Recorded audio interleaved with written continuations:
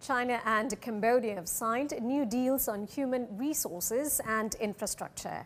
The agreements were signed during the meeting of China-Cambodia Intergovernmental Coordination Committee, co-chaired by Chinese Foreign Minister Wang Yi and Cambodian Deputy Prime Minister Hor Namhong. Wang Yi addressed the meeting today, calling for more cooperation in agriculture, economy, trade, Belt and Road projects, and the fight against COVID-19.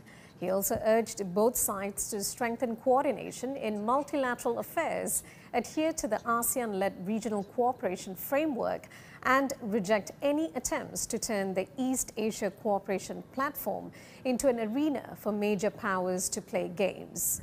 Wang paid a 10-day visit to ASEAN countries. He said the trip aimed to strengthen China's strategic coordination with its neighbors. 同主要国家的呃外长都进行了呃深度的沟通，呃重点。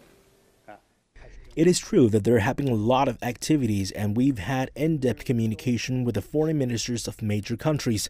But the focus is to strengthen our strategic coordination with our neighbors.